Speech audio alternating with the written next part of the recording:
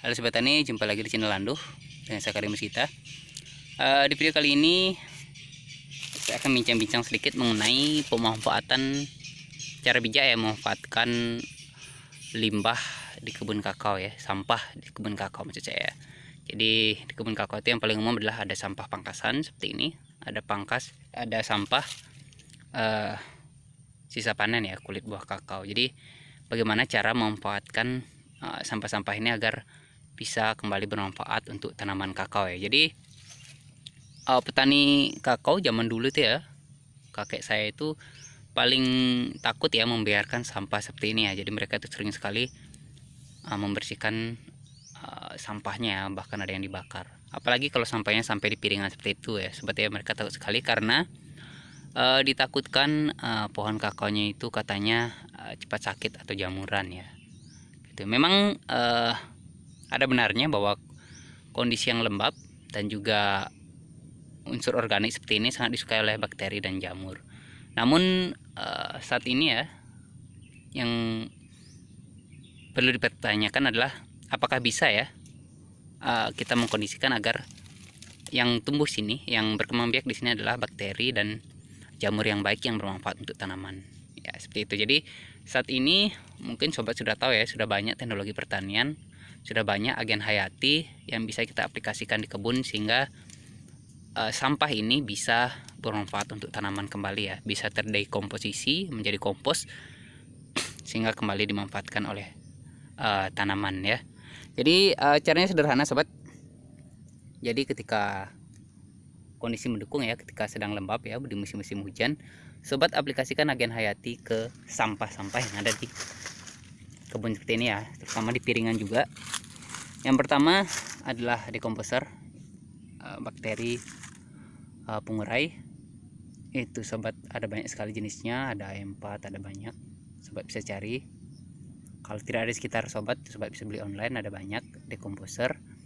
Uh, dan yang kedua adalah jamur ya seperti trichoderma dan gliocladium itu kita aplikasikan di piringan. Ini sudah pernah sobatkan videonya. Kita semprot sekitar piringan dan juga sampah-sampah itu.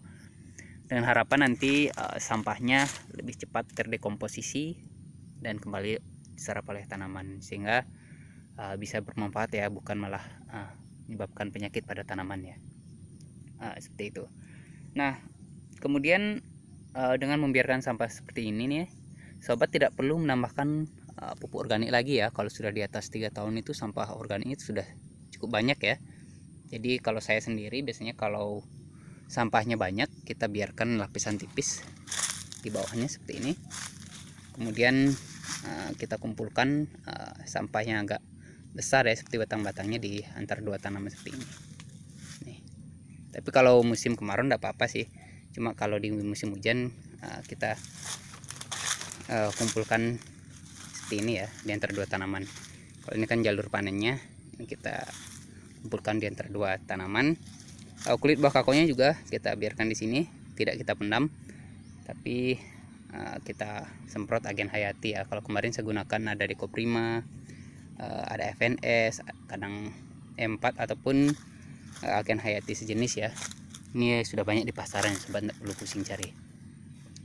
Nah itu kemudian uh, manfaat tambahan yang kita dapat adalah dengan membiarkan sampah seperti ini ya ada lapisan tipis di sekitar kebun ini uh, menjaga uh, topsoilnya ya agar tidak mudah erosi ya. Jadi kalau ini dibersihkan atau disapu itu biasanya lapisan tanah bagian atasnya itu akan hanyut di bawah oleh air ya. Sehingga lama kelamaan itu malah menyebabkan uh, tanah menjadi tandus ya karena dia erosi terbawa air. Kemudian uh, selain itu ya dengan membiarkan uh, lapisan tipis sampah di sekitar batang kakao ini menjaga tanaman dari gulma ya tidak terlalu banyak gulma yang tumbuh. Kemudian yang sangat saya sukai adalah uh, sobat sobat sendiri. Ketika kita melihat di bawah sampah ini ya ini lapisan komposnya sudah mulai terbentuk topsoilnya yang subur sudah mulai terbentuk sudah bisa lihat.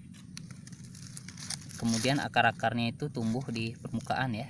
Jadi ketika kita berikan pemupukan tabur itu akan sangat cepat terserap ya oleh akar ini.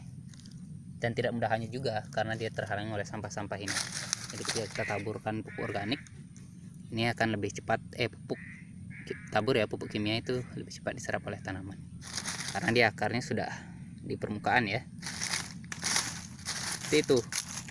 Nah ini juga sangat uh, membantu sekali ketika di musim kemarau ya terutama kalau kebun kakao sobat sama seperti kebun saya tidak ada pelindungnya tidak ada penaungnya ini akan membantu menjaga kelembaban tanah ya agar tidak terlalu kering. Oke jadi kalau menurut saya uh, itu cara memanfaatkan sampah pangkasan maupun sampah kulit kakao di kebun ya. Jadi jangan dibakar. Kalau menurut saya sih lebih baik jangan dibakar tapi ditambahkan agen hayati yang bermanfaat untuk tanaman. Bisa trichoderma, glyphadium dan banyak lagi bakteri lainnya yang bisa mengurai sampah ini sehingga dapat kembali diserap oleh tanaman.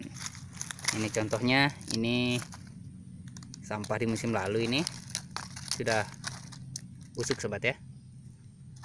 Dan kalau menurut saya eh, cara ini lebih sederhana ya ketimbang kita menimbun kalau saya menimbun bagus cuma uh, butuh tenaga ekstra lagi ya untuk membuat lubang rorakan untuk menimbun sampah ini. Jadi kalau saya bisa biarkan seperti ini sehingga nanti harapannya ini bisa menjadi pabrik pupuk sendiri ya. Jadi tanaman bisa memproduksi eh sampah-sampah ini bisa menjadi pupuk dan diserap oleh tanaman.